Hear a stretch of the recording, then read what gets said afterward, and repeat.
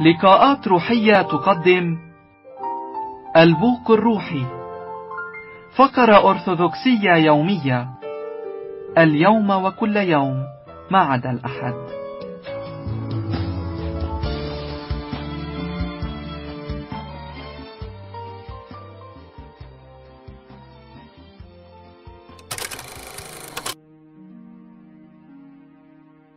ما من شك في أن رافضي القداسة التي ينتهجها البعض في التزام طاهر وعلاماتها في التاريخ لا يجهلون حقها.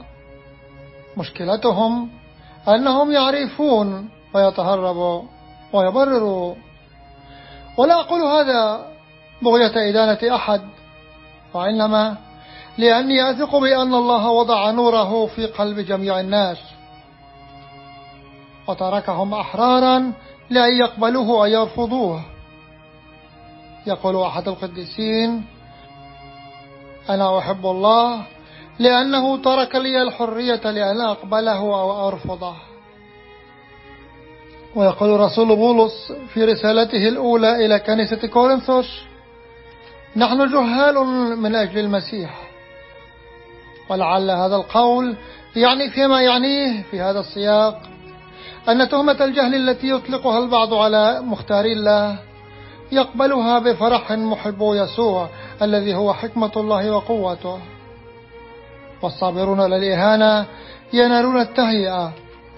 ذلك أنهم يسمعون الله يقول لهم في قلوبهم طوبى لكم إذا عيروكم واضطهدوكم وافتروا عليكم كل كذب من أجلي افرحوا وابتهجوا إن أجركم في السماوات عظيم.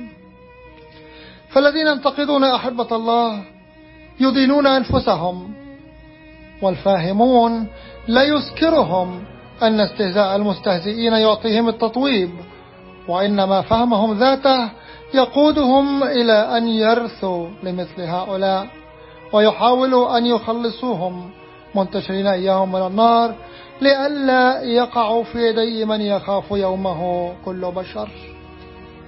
إن من عرف أن غاية الحياة في هذه الأرض هي القداسة التي بغيرها لا يرى الرب أحد. كان سلام الله عليه. أما المترددون فليخافوا من ضعف بصيرتهم علهم يخشعون أمام صبر الله عليهم ومحبة إياهم ويتوبون.